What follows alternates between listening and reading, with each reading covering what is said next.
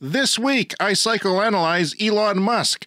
Usually, I have to be drunk to be effective at such things, but I'll give it a shot sober this week with a cup of coffee and a thimble of Brian's tears. What's that now? I got them from a witch. It's not that hard. Hmm. Okay. Wind power generation in the U.S. declined for the first time since the 1990s, and the reason may shock you. Is it because it's less windy? Yes. Okay, then Rethink has turned its analysis to humanoid robots disrupting labor. They'll add gasoline to the fire of the energy transition, the report states. The robots will also ensure I never have to do the show sober again, as one will mix my drinks prior to each show, Brian. Eco friendly clothing company Patagonia has figured out how to completely recycle wetsuits over and over again. This is great news. I can finally take up surfing because the inability to recycle wetsuits was the only thing stopping me. All that and more of this edition of the Clean Energy Show. And also, this week, there's an international report on the carbon capture coal plant in Saskatchewan, where Brian and I live, in Canada, and it ain't good. More battery breakthroughs. More. Uh, a smart grid for a small city on Prince Edward Island in Canada. And batteries, Brian, are proven already to be 95% recyclable. Lithium ion batteries, the kind you find in cars and grid storage. But can they be even 100% or beyond 100%? The answer is yes. I'll explain why, and I know you want to listen to that because it doesn't make well, any sense.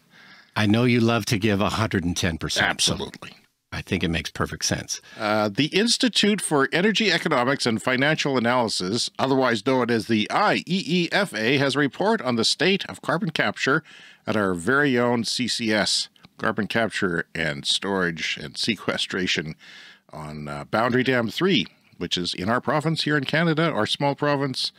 And it is uh, one of the first to do so, but they've got a report on it and they were not doing well. Uh, we, we, debated last week how many billions it was. It was one. This one says a billion dollars Canadian to add carbon capture technology. The project is still capturing uh, far less than the 90% it was originally promised. It was supposed to catch capture 90% of the CO2 emissions. Uh, but we'll have more of that in the lightning round. Uh, CATL, the you know sodium ion battery update, Brian, last summer on July we had this wonderful news of uh, CATL um, first generation sodium ion battery with an energy density of uh, 160 watts for every kilogram. That's kind of how much power can you get into one sort of chunk of size. And it's important because cars, you can't be too heavy and everything like that. The sodium ion batteries could be charged for up to 80% in 15 minutes at room temperature, which is pretty good. Um, generally on the highway, you only charge to 80%, so 15 minute stop is better than the 18 minutes you could potentially get in some of the Hyundai uh, with 800 volt uh, architecture.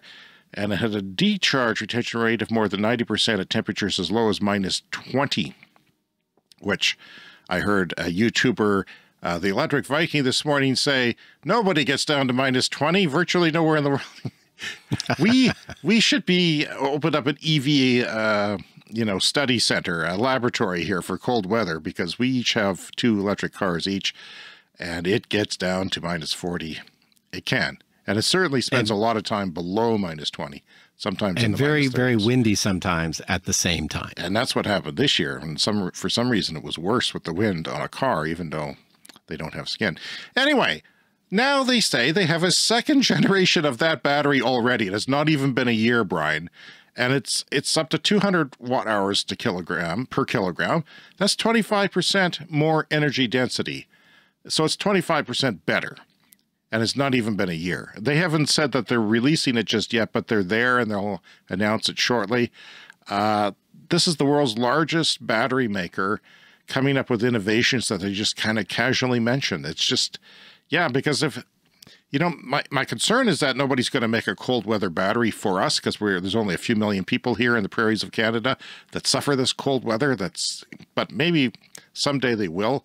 Maybe if you order a Tesla, you can have the option of the cold weather battery chemistry, and uh, it'll just work better in the winter as far as when you're charging it and it won't lose so much range. So that's that's encouraging because we talked about battery uh, improvements last week, and there was a whole horde of them, and now there's even more. It just keeps coming. It's very important to the energy transition because it stores solar and wind when they're not producing, and um, you know it's it's going to be a big deal for the speed of transition. And of course, cars will get better, and we'll stop burning oil, hopefully. Yeah, and lithium ion is the default, and that's still a pretty good battery. Sodium ion, slightly different, but there's many different kinds of chemistry combinations that are being tried that can, you know, be looked at in the future. It's still very, very early days, really. And they had a hybrid battery where a few of the cells had a little bit of lithium in them. And for some reason, this was advantageous, maybe for, I don't know, I don't know why. Perhaps speed, if you know, discharge rate was faster. I'm not sure. So you're using a lot less lithium. Everyone says we can't do the work, the, the energy transition because there's not enough lithium in the world. My son's uh, engineering professor said that, and no, I I should be teaching. well, no, I shouldn't be teaching, but yeah, it, just, it frustrates refining... me. It frustrates me, frustrates me when smart people don't quite get it. They don't quite understand what's going on. Yeah, there might be a limit with refining capacity for lithium. It's something like that, but you know, absolutely. You know who's solvable. not complaining about the amount of lithium? The actual battery makers who are making all these batteries. They're not saying one word about supply constraints or anything like that. Um, if anything, it's manufacturing constraints. So the, Rethink X, that is uh, the uh, think tank that talks about disruption. So we we our show is largely about disruption, the disruption how uh, clean energy is cheaper and better than other energies. That electric cars uh, ultimately will be cheaper and better than other technologies because uh, the technologies that are in those things have become cheap enough and good enough, and they've all converged. Well, they're now talking about humanoid robots. Tesla is making a humanoid robot, and other people are too. In fact. Uh, you might think this is science fiction, but there are humanoid robots working in Chinese auto, auto plants right now. I don't know what they're doing. They're probably not doing much, but that's not the point. The point is they exist and they're going to get better every day and do more every day. And uh, yeah, so they've got this big report out. I'm going to link it in the show notes. Uh, I suggest you have a look at it.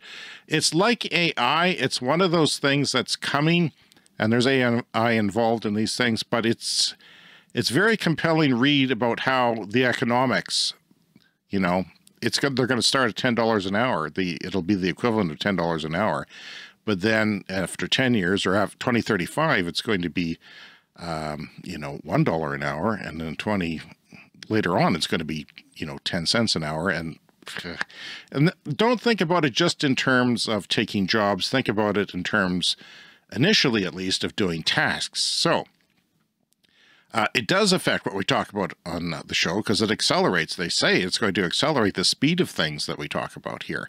Um, if you can have a robot making a solar panel, it'll do a better job. It'll, um, you know, it, it, it won't cut corners. Um, that's kind of the theme here. And there's some things that I haven't thought about. I'll touch on them.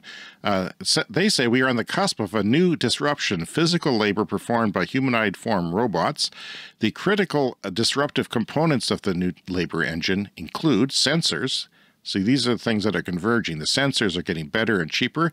That's cameras, tilt sensors, pressure sensors, microphones, accelerometers, etc. to take in sensory data. That's all kind of at a point now where it makes sense to do these things. Computer hardware has advanced and software to process sensory data with powerful AI. Actuators to move and interact with objects in the environment and batteries, of course, are more powerful. We just mentioned that.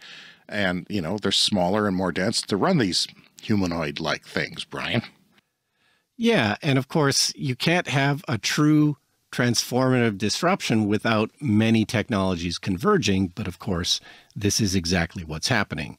Um, if we had the computing power, but none of the actuators, you know, none of this would work. So it goes on to say each of these technologies has gotten dramatically cheaper and more powerful in recent years.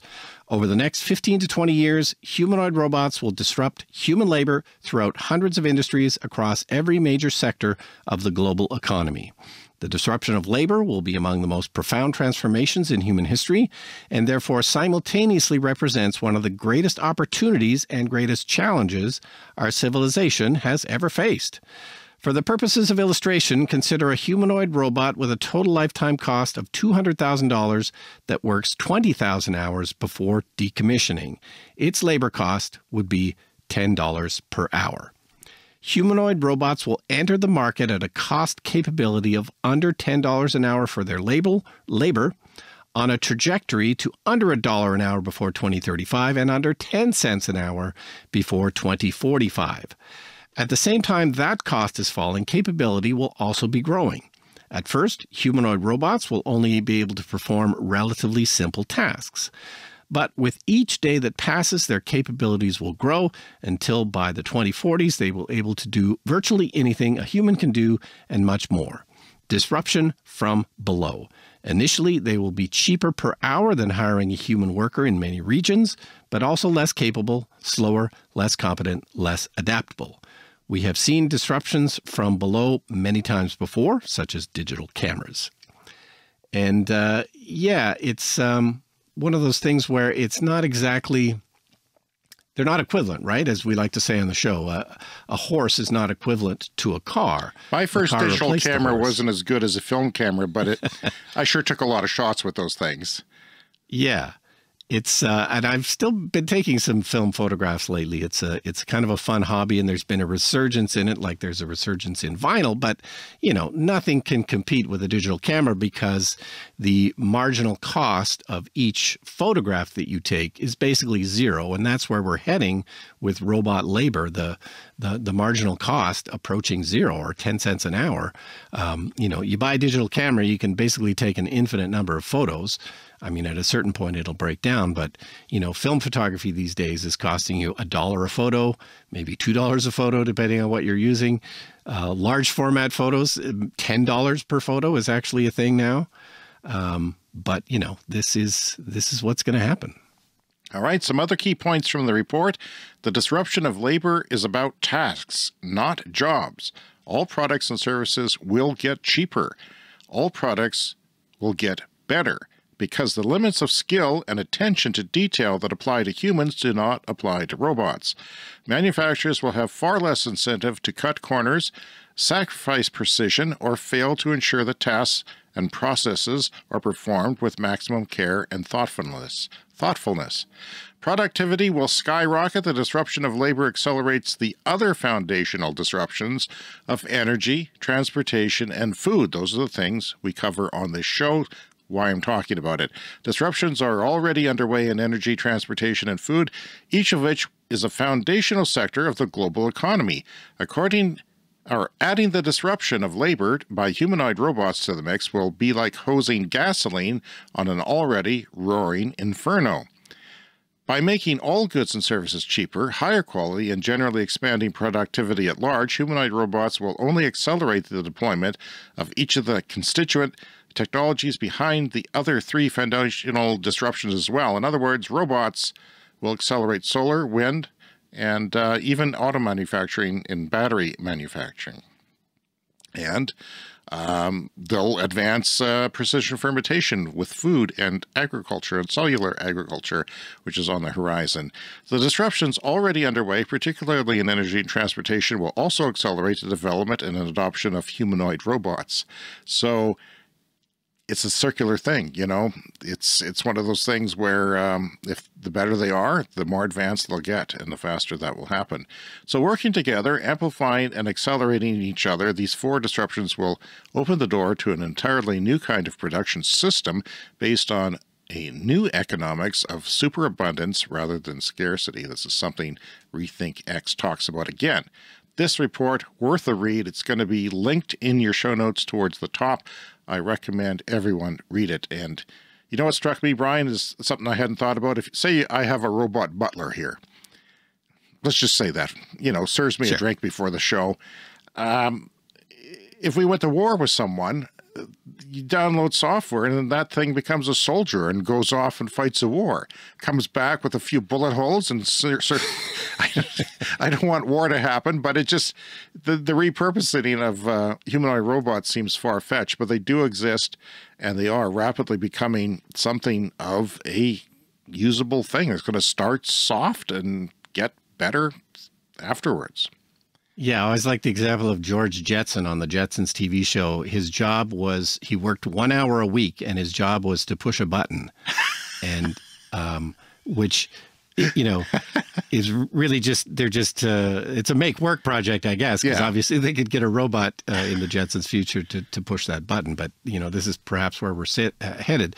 Um, when we were kids, I remember there was a couple of kind of documentary type TV shows um, that talked about future innovations and new inventions and stuff.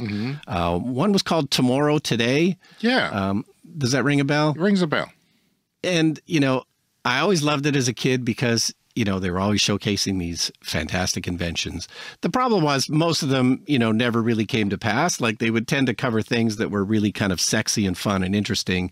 But, you know, most of them, I think, didn't really go anywhere. And I always think about that when we talk about these kinds of future innovations on the show because you know, I don't want to talk about something that's just a fantasy that's never going to happen or going to happen, you know, way too far in the future. I, you know, I want to be somewhat kind of realistic and, in the moment about all this stuff. But these damn humanoid robots are way closer, I think, than most people realize. I they could be closer than AI in general, um, but you know AI is going to start doing tasks for us. We're still going to be needed, but there, you know, one person might be able to do three jobs with AI, even you know now or in a few short years, depending on what it is.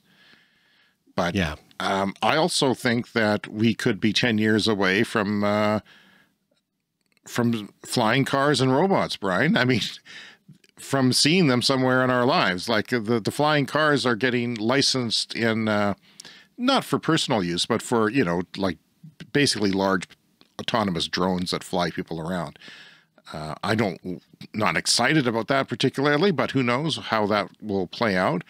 Um, maybe it'll be safe. Maybe they'll just go over freeways. Maybe they won't be flying over my house constantly, dropping packages off. I don't know. But Yeah. and we started this show in 2020 with the idea of going till 2030 because we thought, well, this is going to be a pretty interesting 10 years. This is going to be a pretty interesting decade as far as these innovations go. Now, not sure how many of these will come to pass before 2030, but six more years, uh, you know, at the pace this at stuff the is pace going, we're going, I mean, it's crazy. the fact that now here's the thing. People say autonomous cars not going to happen. Well they exist. They exist in san francisco. They're expanding in san francisco now. Uh, they're Yeah. not great. They're not perfect but they're not killing people either. They sometimes cause traffic jams and and go too cautiously and things like that. But um the, the robots are in chinese factories now doing things you can't say they're not going to happen uh, why Yeah. humanoid robots? I'm not sure because it's to replace humanoid tasks, repetitive. They're, they're going to start by doing jobs that nobody wants to do. There's going to be certain agricultural jobs. Um, Yeah. This podcast. no, in 2030 we'll be replaced by by uh, robots. It'll keep going, but they'll just talk about Right. the robots. Well, in my house, I'm going to get the robot to fix me drinks and do the laundry. That's the one thing I'm, I really, Oh, uh, dishes. Oh, I would like the dishes. Oh, be amazing. Yeah. But um, but yeah. Oh, you know they have a human. They have a robot that's not humanoid that does dishes now in the kitchen and can even Oh, yeah. prepare food. Like you know, get you know a cup of flour, do a recipe, and sort of push everything out for you.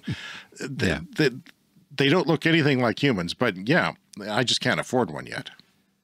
But yeah, the idea I think is that the humanoid form factor will be the most versatile because, well, this is what the world is built around. It's built around humans interacting with things. So if you want something to interact with the most things, make it in a humanoid form. Because, yeah, autonomous cars, those are already robots. Of course, there's robots in car factories that do welding and stamping and moving pieces and everything, specialized robots but you know pretty soon humanoid robots to you know do the extra little tasks uh, around the factory I'm looking forward to them working at McDonald's because they never get my order right.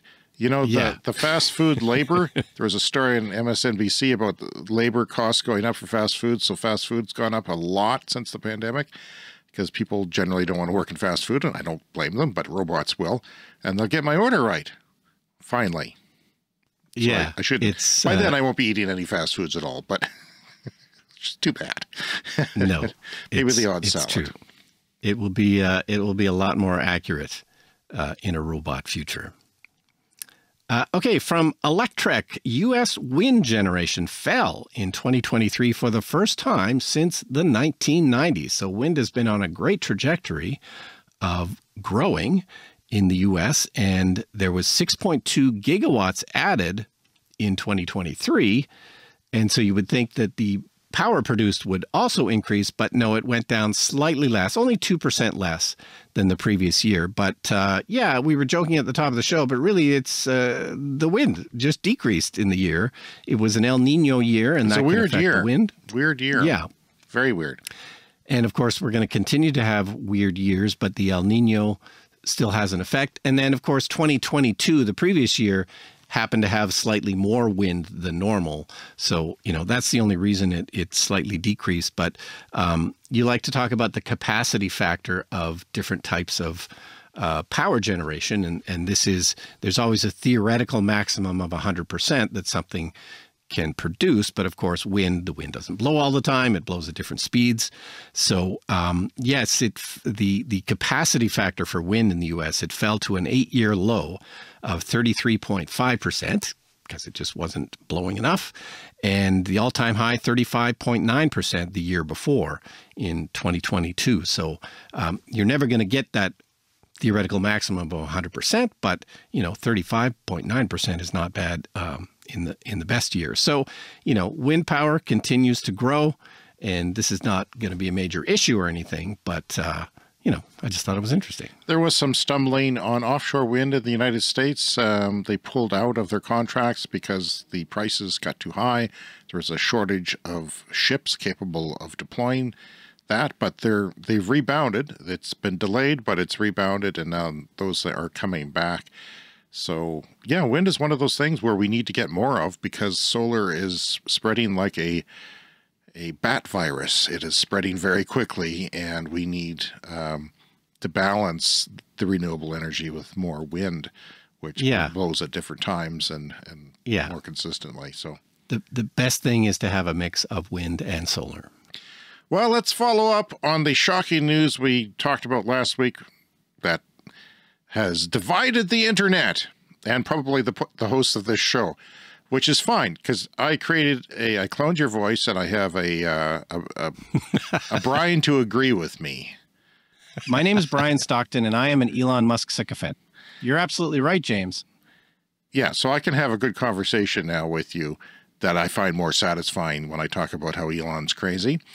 Right. Um, so yeah, it's uh, some people are, are very shocked and some people are reverse engineering what happened and trying to find an excuse for it, like uh, Sandy Munro uh, and other people, and it just doesn't make any sense to me. Brian, I'm a good judge of character. One of my many talents, and I have a lot of them, is judging character. But like I say, I'm usually better doing it when I'm drunk, but I'm a good judge of character, and I've uh, I judged Elon a long time ago when he um, started hitting on a female uh, interviewer during uh, at the factory, and I thought, ah, this guy's unhinged. And I, I sort of put it together with all the traits that I know in the world of people and what they'll end up acting like, and he's done that. We've argued on this show that his craziness will or will not affect the future of the transition and Tesla itself.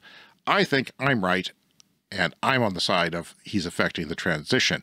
And of course, I found some other people who agree. But in New York, there's a ride sharing there with Model 3s, and they're desperately in need of superchargers, which were about to get built. And guess what? They're they're not doing them anymore because there's the, the entire. Let's remind people what happened. I, I know what happened. He um he was doing layoffs at Tesla because they've stopped selling cars, maybe partially because of him being a a bad person. I've, I've encountered more and more people who will not drive around a Tesla. So, anyway, uh, he fired um, the head of the supercharging thing uh, and her entire 500 member team to spite her because she didn't do what he said. And that is unhinged and is not a good idea. It's not how people get rid of departments uh, you don't leave utilities and uh, partners out in the uh, cold, not knowing what's going on. That's what he did. And I think it was my own analysis of his psyche is that it probably made it worse because she was a woman, because he's very toxic on Twitter. Uh, male toxic- toxicity comes out of him, oozes out of him. This is what um, Tom at the uh, Batteries Included uh, podcast had to say. The timing is so nuts that it's almost as if Elon just wanted to throw a hand grenade into the industry. Sure, come on and sign all these agreements. And as soon as everybody just begins to join, just boom, you know, and, and like, you know, that, that's why I, I said earlier, if, if Tesla wanted to do this, if this was their plan to be a to ma- a manufacturer or to just get the supercharger network to a certain location and then say, okay, we've done it. This is how you do it, guys. Now it's on you to invest and do this. Okay, I could I, I wouldn't agree with it, but I can understand it. But the way this was done with just 500 jobs gone and all of these partners so like just left hanging, not knowing who to contact, that that's what made makes leads you to believe this wasn't planned. Like this wasn't this is what we're going to do. This was Elon, you know, just you know having a hissy fit and just firing everybody without thinking the the full consequences through. That's uh, Tom Maloughney, a state of charge. He's got a YouTube channel. He also does it with uh, Kyle Conner with uh, Out of Spec Reviews. Got a large organization going there. They both do extensive coverage of supercharging and charging, and they have connections to the companies that are doing it. They have a very intimate uh, knowledge of the technology of what works and doesn't work, and down to the uh, you know the smallest part of those superchargers. And this is Fred from Electrek. He is the um, editor in chief at Electrek. This is what he said on the Electrek podcast this week. What Elon did this week, I think it's anti mission. This firing of the supercharger team, I cannot reconcile it with the mission. So it is it is absolutely uh, surprising in the worst way possible. This firing is going to result, I think, undeniably in a at least significant slowdown in fast charging deployment in North America, probably major slowdown if uh, worst case scenario, and that's going to result in fewer EV cells globally because as Elon himself said, the biggest driver of Tesla cells, EV cells is supercharger deployment, service center deployment. Those are the biggest driver. If people have a service center near them, store near them, and they have supercharging station in between where they need to go and where they live, that's what makes their their buying decision easier. And now we're gonna have less of that, and we're gonna have more supercharger wait time, more issues. It's just it seems like an unhinged move, and in a long series of instigation that led that way. So it seems like an unhinged move to me too. He wrote in an email that if you do not do what you're told, what I tell you to do, this is what's going to happen to you. I'm going to fire you and everyone you love and everyone who has been working hard. Uh, 500 people, Brian. It just it makes no sense. Uh, it doesn't seem like it makes sense. Yahoo Finance writes plenty of investors are blaming Musk for the company's wandering vision, saying he's alienated buyers and tanked the car maker's reputation with his bizarre political outbursts and fixation on autonomous driving, all at the expense of basic services for Tesla drivers like a reliable charging network. Brian, I was on the cusp as a Chevy Bolt GM guy with a car of getting my connector and access to the supercharger network. Well, that's gone, at least for now. Maybe we, if we were, because these are the people who were working on that being compatible. They're gone, and they're not being replaced immediately. And I was so close. I was so close to being able to go on a trip this summer and and if my charger network wasn't working, I could have went 100 feet to the right and used a Tesla because they're often together here, and um, it would have been security for me. I'm disappointed. I'm I'm dis- I kept it, you know, because they've opened up these charging networks to all the other companies, and the other companies ostensibly are going to need superchargers, and the superchargers are going to. Some of them are going to fill up. Some of them are going to become congested. We're going to need more of them, and they are the only people who are doing it right. That's the one thing that Tesla had going for that you could not argue with. They just throw it out the window. And I'm, I'm unhappy about that. Now, Ionna, Ionna, I think it's, the, the, you know, there was this conglomeration of different EV makers like Hyundai and uh, GM. They're starting this big charging network. There's seven auto manufacturers, and they're going to have chargers by the end of this year. But the people who are running that are the people who are running the other third party chargers, which were crap. So I don't have much faith. We need a big charging network to come and expand and be reliable and make sense and, you know, have the understanding. But they've they've had 15 years of experience doing this and finding out where the right places are to put these superchargers and um, and how to do them quickly. They've figured out manufacturing of them. You know, they they prefab them in a factory on a concrete slab and take those out to the work site. It does take time to set up a charger. There's a lot of utility interconnection that has to go on. It can take a couple of years. I'm worried that this is just one more thing, and the oil companies are just having a good laugh that it's another, you know, iron rod in the spokes of progress. Well, I don't have any particular insight. I don't have any special knowledge on this, so I don't really have an opinion on it. Wait, it you does do, seem you like do, it's a- Brian, you do. Elon Musk has gone insane and it will delay the transition to electric vehicles. Thank James, you're so smart. Thank. Well, that's very kind of you. Uh, it does seem like a bad idea, but I, it remains to be seen what actually eventually happens. All right, let's dip into the mailbag. Um, yeah, we got a letter from Phil in the United States. How he wants us to look at how big oil helped push the idea of carbon footprints. We've talked about that on the show before. Your carbon footprint helps you identify actions you can take pers- and to personally fight climate change. It also shifts responsibility away from petrochemical companies. And yeah, he has a podcast to listen to. And uh, I don't know what's the name of it. I've lost the name, but I'll link it in the show notes. Is it on point? Yes, I think it's on point. You're right.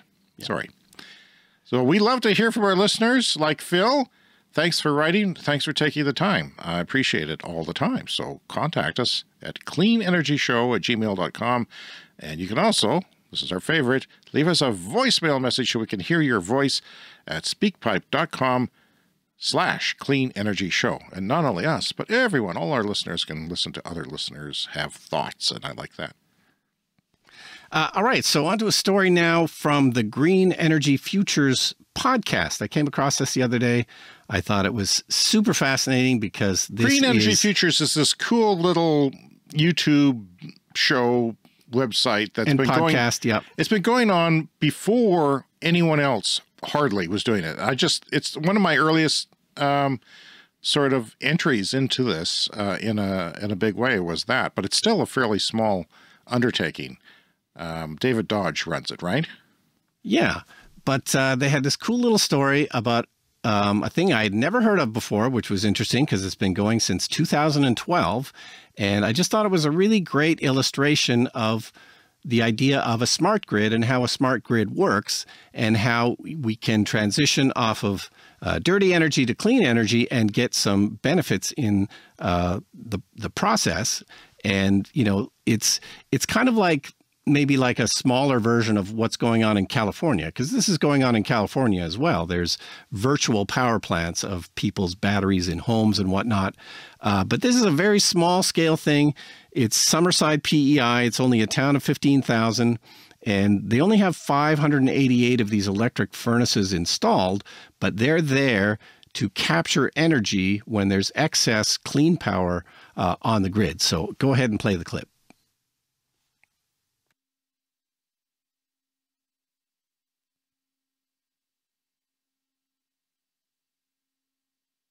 And although wind is an amazing resource in PEI, And at times we had too much wind. We had to actually spill it into Maritime Electric's grid. And so that started us on how do we use that energy locally. So we started a program. So the Heat for Less Now was our consumer program on a smart grid system back in 2000. We started developing that in 2010.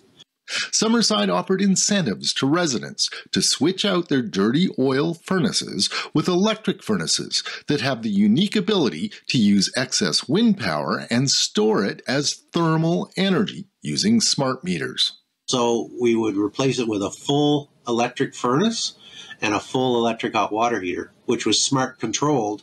We can inject energy into it 12 hours of any day, and we pick the hours when the electricity goes in it.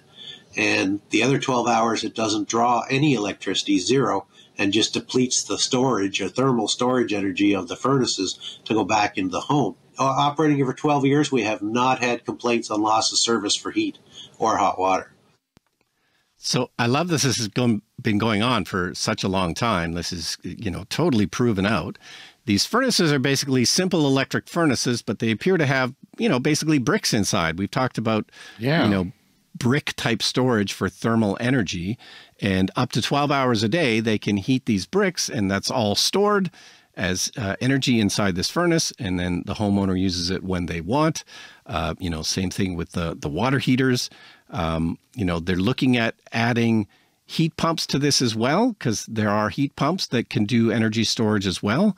Um, and, you know, just it's, it's inefficient, this type of you know old uh, you know standard electric type of furnace but you know it could actually work out better um, because they can take in the energy for 12 hours a day and store it. The heat pumps only like four hours a day they can feed energy into it but that's enough to you know uh, you know shave off the peak so that people that have the the heat pumps in the future they won't ever have to turn the power on for them during the the peak electricity times. So yeah i just thought this was great. It's a small town only 15,000 people but they basically started their own utility to get themselves off fossil fuels. They you know they're uh, up to 46% uh, clean energy which is uh, a huge improvement over basically nothing which is what they had before I've actually been to Summerside, PI when I was 12. It, I remember it being a very shiny, happy, very pleasant place, one of the nicer places I've ever been to. Uh, Yeah. Look at them. I didn't actually think that they would do something like this. Bricks and furnaces fascinate me, though, because, you know, these uh, these bricks, they're not normal bricks, but they're made for uh, retaining heat. They seem to be doing an interestingly good job. And something I should be doing in my passive solar house here is storing heat from thermal energy from the, the sun and dissipating it slowly over the night. That's something I wish I could do more, especially in the winter. Yeah, well, some passive solar houses have a thing that's basically called like a heat wall or something, where it's it's you can put an extra. Yeah. What's it called? Well, people use masonry and stone as much as they can. Yeah. Sometimes there's a Yeah. concrete floor. Sometimes it's in a wall. You can even buy, this is something that I fascinated me and I don't know how often happens. You can water, buy water tanks that fit into the cavity of your wall between the two by fours. They're just that thick. You fill them with water because water is the best, uh, one of the best ways to store, you know, take it in and give it off. Uh, it does it very easily. So, yeah. And then sometimes people put scrap um, gypsum board or gyprock or uh, drywall in between that because that holds some too. And I thought about that because you can go to a scrap yard or somewhere and, you know, outside a construction site and just get chunks of it and maybe do that. So, yeah, there's different ways Yeah. to do that, but I would like to do that more. Yeah, thermal mass. The the one I'm thinking of, it's kind of like the monolith from 2001: A Space Odyssey. You know, there's people that have a wall like that in their houses. That's sort of like a feature wall, but it's where it can catch the sun, and it's Right. made out of slate It's, it's better if the sun can actually shine on it, which is, Yeah. you know, great. and, and wintertime heat up during the day, and it just slowly releases that heat at night. Brian, uh, you may argue with people, common people, the common people who don't listen to our podcast about battery recycling. There's myths out there, and I see this written with confidence every day. Uh, electric car batteries go to the landfill after four or five years, which is a joke because my my my electric car, uh, my oldest one's 11 and a half years old almost already. And uh, they basically last the life of the car. They're supposed to. They're designed for that. And the life of the car is the same as any other car. Um, the fact is, and I'm going to get to this in, a, in my next segment after this, is battery recycling is going very well. Um, JB Straubel, who is a board member, the only sane board member of uh, Tesla, uh, he was one of the co-founders of Tesla. He broke off and started a battery recycling firm called Redwood Materials. And they are showing 95% of materials can be recycled. They've just started up their factory. They're going to need many more. The United States, everywhere is going to need a lot more. This is just the beginning. There's not a lot out there already to have to do this.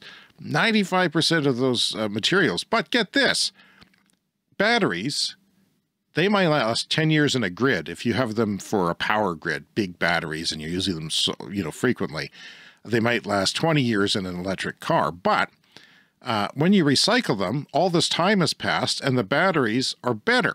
We've talked about 25% improvement of a battery that was amazingly announced just last summer and is already 25% more energy.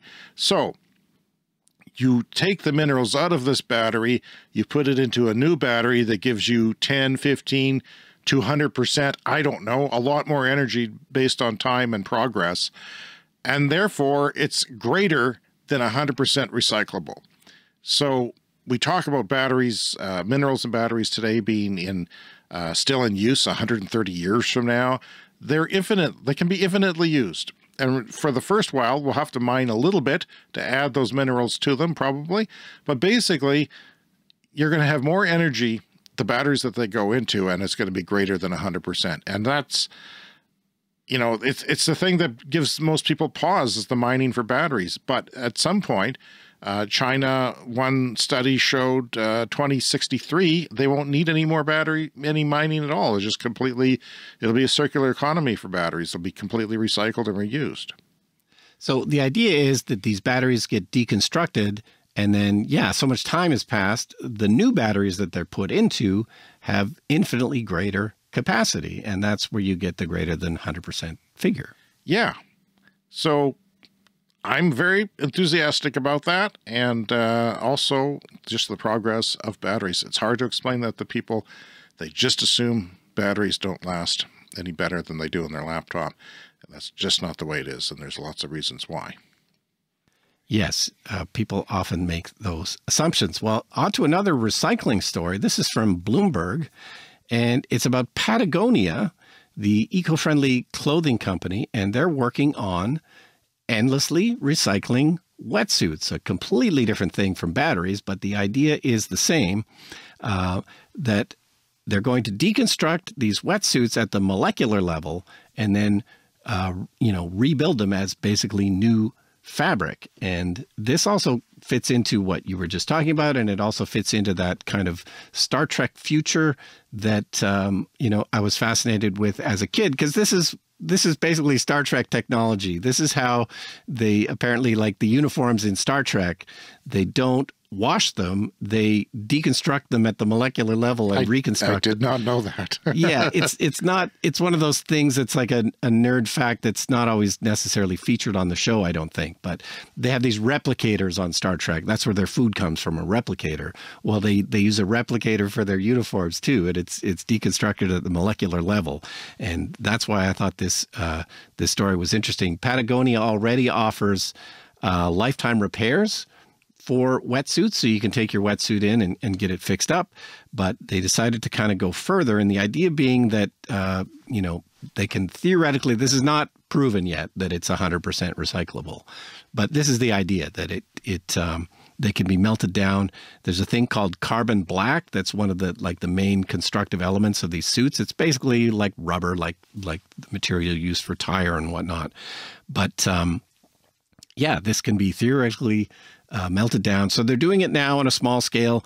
It has yet to be kind of proven out on a long scale, a long term uh, kind of scale. But um, yeah, I always like these uh, futuristic kind of stories. Can Batwoman recycle her costume as well? Is that in there? yes, that that's absolutely. Yeah. All right. Well, keeping with the theme of recycling, uh, let's go to um, redwood materials. This is something that Bloomberg published uh, a big story on some time ago now. I think it's uh, maybe a couple of weeks ago, but I thought we better talk about it because it's important and um, I think people are interested in it. The Stanford report, they've done a Stanford report on redwood recycling.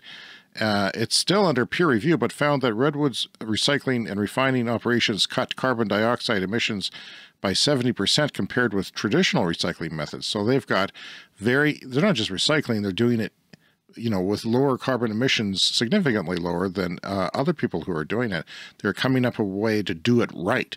Um, yeah, so 70% compared with traditional recycling methods and 40% lower than other recycling processes. Um, more than 95% of the key minerals can be profitably recycled more than 95%. So nothing goes to a landfill at these at this facility, and no water leaves the facility except uh, the sanitary waste from sinks and toilets. There's no gas lines, Brian. Everything is electric. So if everything is electric, you can power it with clean, renewable electricity if you want. And that is what they are aiming to do. So, a quote here from uh, Colin Campbell, their chief technology officer, says Once we've changed over the entire vehicle fleet to electric and all those materials or all those minerals are in consumption, we'll only have to replace a couple percent each year that's lost in the process. There are three basic approaches to recycling batteries, each with its own drawbacks. You can burn them, which is wasteful and can result in toxic emissions. You can dissolve them in strong chemicals, which is expensive and uses the most energy, or separate them mechanically, which can be labor intensive and dangerous. Until the last few years, most U.S. recyclers simply ground up the batteries and sent them overseas for someone else to deal with. But Redwood, materials is borrowing uh, what it sees as the most useful bits from each of those categories of recycling. The company's process starts at an indoor staging area where everything from discarded earbuds that have batteries in them, Bluetooth headphones, laptop batteries, EV modules from recycled Chevy bolts, uh, are dumped because there was a big Chevy Bolt recall. The battery has a defect in them from LG. And uh, they're dumped into a conveyor belt, and the jumbled mess is carried roughly 30 feet up to a hole in the wall where it exits the building into a giant churning metal tunnel dubbed RCI, uh, suspended high above the ground. Uh, RCI is essentially an enormous slow cooker, baking the junk at several hundred degrees for about an hour and is perhaps Redwood's biggest innovation thus far. Traditional recycling through burning uses heat well over a thousand degrees Celsius or 1800 Fahrenheit to separate out precious metals, but Redwood's goal at this stage is to preserve and prepare the materials for the next steps in the most efficient way. So they're only doing it at a lot less temperature. Uh, there's no combustion involved here. Like I said, it's electric uh, heating and no emissions. No combustion, no emissions, which is actually surprising to me. I, I thought there would be a more of a, a, you know, a hurtful carbon process, but it's actually a lot better than I ever hoped for. It simply reduces the glues, plastics, and unwanted fluids into charcoal. The high-grade black carbon, weren't we just talking about that? Leftover can be sold for use in black paints and industrial lubrication, possibly wetsuits. I don't know. yeah, probably, yeah. Uh, so it uses surprisingly little electricity. Once the kiln heats up, the energy released from the batteries is self-sustaining because it starts to have a chemical process and give off the energy that it had stored. Think of it as a controlled slow motion version of a battery fire running nonstop day and night Week after week, it safely releases the charge in any batteries that could pose a danger to workers while breaking down the stuff that binds key minerals together. That's ingenious, if you ask me. It's using their own, their own heat that's already there, the battery's potential. Um, after leaving the RC, is it RC1 or R, it's the RC1? Okay. I said RCI. The charbroil batteries pass through machines that sift the material through screens. Powerful magnets are used to isolate certain materials. The remaining mineral-rich dust, known as black mass, is mixed into a slurry of solvents and fed into another building that resembles a large beer brewery with towering stainless steel tanks that uses chemical chemicals, pressures, and uh, filters to and evaporation to separate the products into their core elements. So you got your lithium, you got your copper, you've got uh, some cobalt in the older batteries, and all these things are getting separated. And uh, copper foil production has never existed in the United States. For last year, Redwood has been cranking out sample rolls of copper foils for batteries to, for them to test. In the coming weeks, the company's foils will officially enter the supply chain used in American EVs. Fantastic. So now, when you buy an EV, you're going to have some of it that's already recycled. Uh, they Straubel, the uh, CEO of the company, chalks up the accelerated timetable to unanticipated EV recalls, like the Bolt, and higher than anticipated levels of scrap materials from new battery factories. Apparently, battery factories, like cookie factories, have some mistakes because I went and ate some of the mistakes at the Peek Freans factory in Toronto, which you sent me to.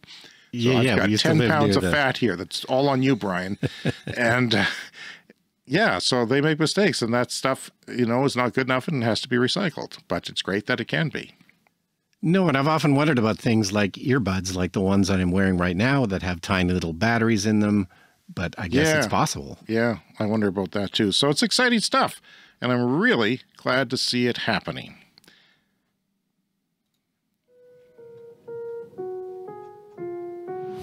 It's time for the lightning round. The. Lightning Round is a fast paced look at the latest headlines in climate, clean energy, and transportation. The average cost of renewable energy plunged below the average cost of fossil fuels in Asia Pacific region last year. The gap will continue to widen, says clean energy research firm Wood Mackenzie. Toyota's all electric BZ4X had its strongest sales year ever. That's not saying much, but it even, to my surprise, outsold the Prius Prime plug in electric vehicle, hybrid electric vehicle. Interesting. Uh, under today's policy settings, the by the way, my son, he's got this big wad of money because he lives with his uncle. He's got student loans, so it just goes in a big pot of money. then he has the summer job, doesn't have any um, huge expenses. Uh, is driving this old car. He's thinking of buying a new car. So I went to look at, you know, what should he buy a new car because he probably could, you know, um, or should he? Because the, you know what you get for twenty thousand ain't much these days. It's remarkably, remarkably, you know, bad. Uh, you want a, a Corolla or a, you know, a Civic. You got to have one with two hundred thousand kilometers on it, or a hundred and thirty thousand miles, or something. So there's a lot of bad things. But anyway, Toyota, every car you look at says limited inventory. They still can't get their inventory back. And and also they've gone up in price. Like everything has gone way up in price.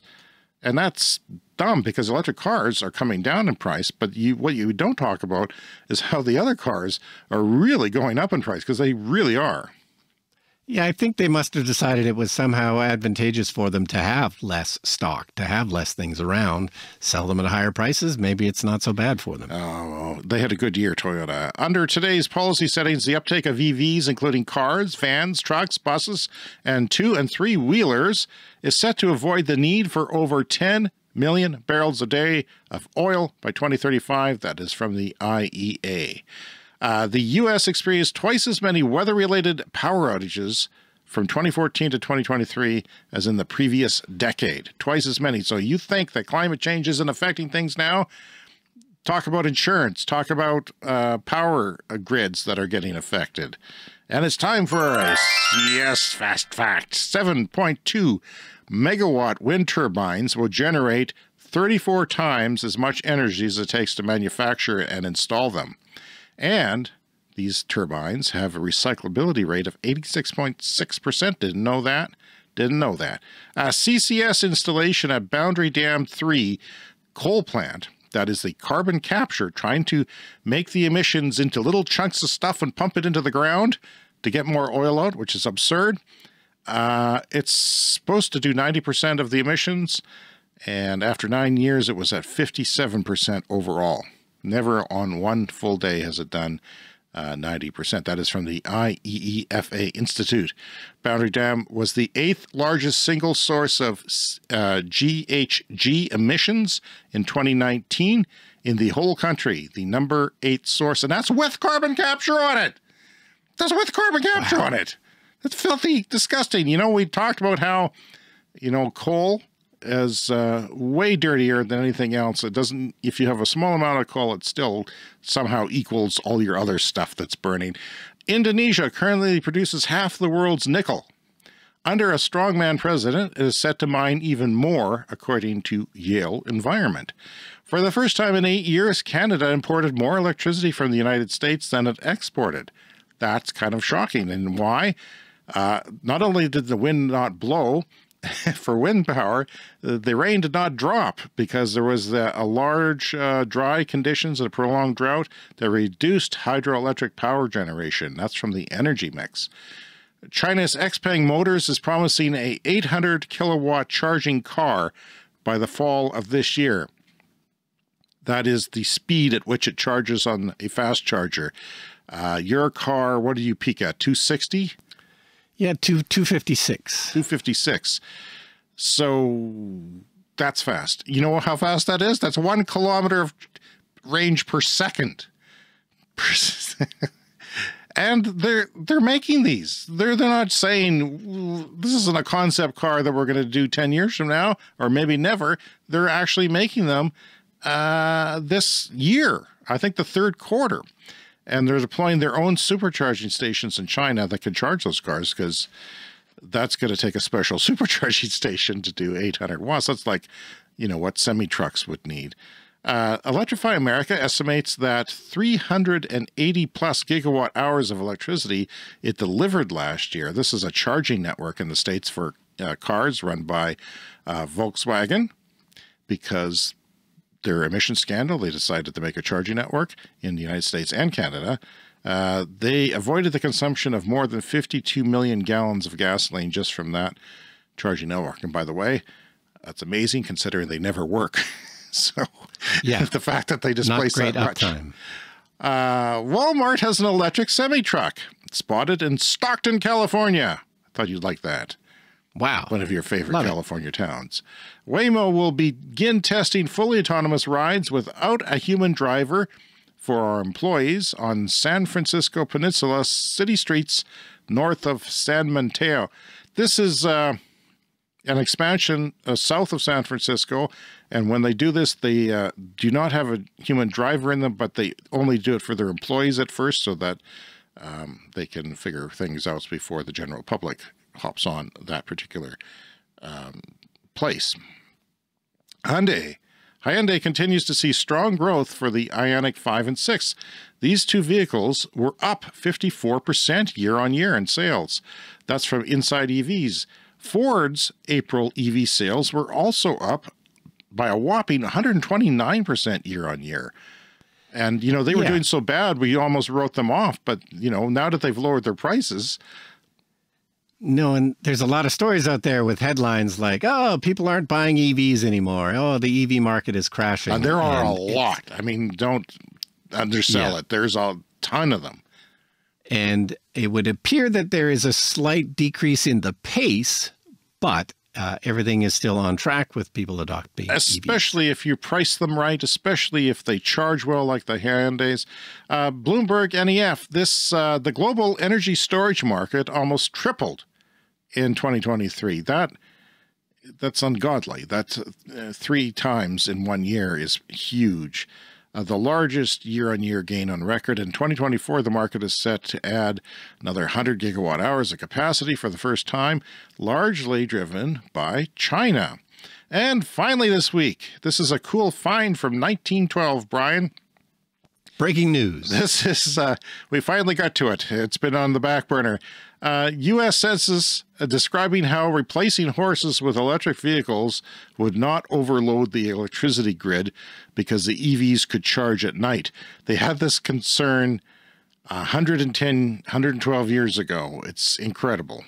Yeah, and a lot of people don't know, but some of the first cars were electric, and uh, you know they were actually in use and bought by people. There's, you know, Jay Leno still has one that he drives around, um, but you know they didn't have the range, of course, but they were they were a thing. They didn't have lithium ion batteries, which only came into usability around the time when uh, Musk was uh, making his first Teslas. Um, it is only natural, therefore, that this is the article that throughout the country an effort has been made to develop this new class of business and build up the vehicle load. The opportunity thus offers the opportunity thus offered is enormous. At the meeting of the Illinois Electrical Association of 1912, it was stated by Mr. George Jones that if half the horses in Chicago were replaced by electric vehicles, the central station load created would amount to 94 million kilowatt hours per annum. As such, vehicles are usually charged late at night when the ordinary demand for current is small. No additional investment in central station apparatus would be necessary, and this off peak business would improve the general load factor by about 13%. It's exactly, exactly what we're talking about currently. Amazing from 1912, and it's it's nearly identical to what we're talking about now. All right, well, that's our show for this week. Please take the time to contact us, Clean Energy Show at gmail.com and around social media. We are Clean Energy Pod. You can find videos of our show on TikTok and YouTube, and that includes special content not featured sometimes on the podcast. And as a test, we are putting our full video podcast on TikTok, at least for the near term. The Clean Energy Store, it's there, linked in your show notes. Hats, shirts, mugs, get them all, get them now. Uh, show off your Clean Energy Show pride. You know, rate and review us if you can on Apple or wherever you're listening to our show, whatever app you're getting. I'm very sad that the uh, Google Podcast app is going away because Google is Google. Now you have to. I was, it was worked for me, Brian. It worked so well on my Android phone, and now it's gone. I don't have a good bad. alternative. Uh, all my subscriptions, everything's gone in June. You can donate to the show to help us keep podcasting. That link is in your show notes as well. You can use PayPal to make a monthly or one-time little donation. If you're new to the show, welcome. Uh, subscribe in your podcast app. We do it every week, and we do it again next week, so make sure you get that episode coming in. Thanks for listening. See you next week.